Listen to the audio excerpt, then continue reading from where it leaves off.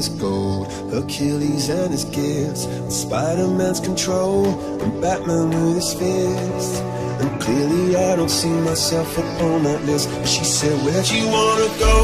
How much you wanna risk? I'm not looking for somebody with some superhuman gifts Some superhero, some fairy tale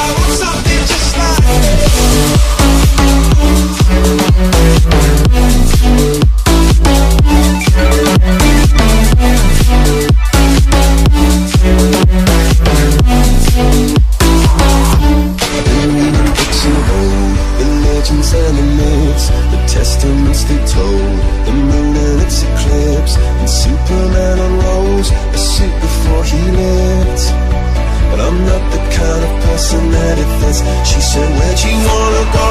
How much you wanna risk?